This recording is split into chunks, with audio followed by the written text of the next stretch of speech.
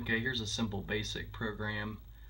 Um, the first line is a print statement and then those characters what they do uh, the reverse heart clears the screen and cursor home and then all the cues are actually cursor downs and then um, followed by a tab for 14 spaces. So it's going to clear home it's going to go down. However number of cues I have here I think it's 10 and then it's going to tab over 14 positions from there so that once we do start printing something it's going to occur here on the screen and then uh, line 20 those poke statements are setting the border color and the foreground color both to black.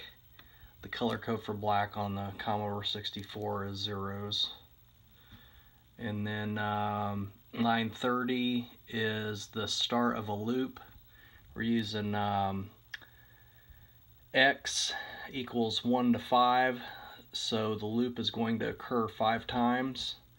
And that's because this what this program is going to do is print my first name and then a space and then my last name so I have two different loops one for my first name one for my last name so my first name is five digits long. So that's why the loop is um, for one to five. So X is the variable. And then down here I'm setting another variable C standing for color. And then the, what this statement says here is it's C is going to be an integer type number, so there's not going to be any decimal points. And then this means that we want that number to be a random number between 1 and 15.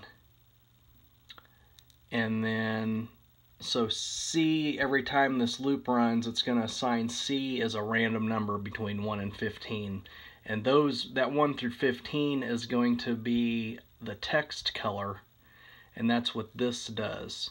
This poke 646 is um, putting into memory what color we want the text to be. And in this case it's going to be the value of C which will be a random number so this is going to pick a random number and assign it to C and then this is going to change the color to whatever number that random number is and then this read statement is going to read Q as a variable and the dollar sign means it's going to be text. So what it does here is it jumps down here to this data statement line and it picks the first piece of data which in this case is a C and um, then up here on the next statement it says print Q dollar so it's already read the C from the data statement. So now it's going to print the C here because um, QS becomes a C since it's a variable. And then um, this line 45 is a for next loop for time. So it's saying t equals 1 to 800 and then next t. So what this is going to do is basically start a timer and nothing's going to occur during that time. It's just kind of to make a uh, time gap. And then this next x is going to restart this x loop up here. So once it reads this, it's going to jump up to this part of the program and it's going to do this all over again, but it's going to change the counter from 1 to 2. So every time this runs and jumps up here, one gets added to it. So the first time it's a one, second time two, second time three, second time four, second time five. And then all this in between happens again each time it runs. So again, C is going to be assigned as a variable and it's going to let the computer pick a random number between 1 and 15.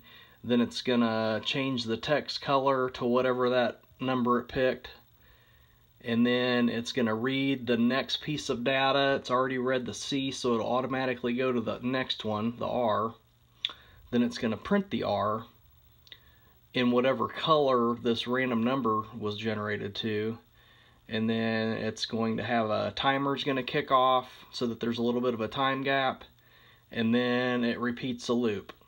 So it does this until it goes all the way through my first name and then it jumps down here and prints a blank space and that I was going to say what this semicolon does is it tells you every time you print that you want to print on the same line after the previously printed character otherwise it'll return down here and start as just print you know um, on each um, subsequent line. So that's why you have to put that in there.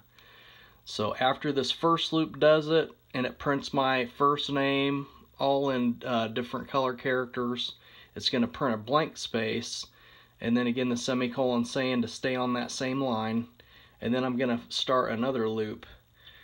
So instead of using X I just used a different uh, variable so Y is going to be 1 to 5 uh, computer is going to assign C as a random number 1 to 15 we're going to poke into the memory location for text color that we want to use whatever this random number it picks.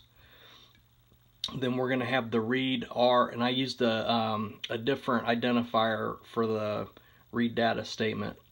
Instead of using key like I did up here, I just picked R, which you can use whatever you want. And again, the, the dollar sign means it's a string variable type data that we're looking for.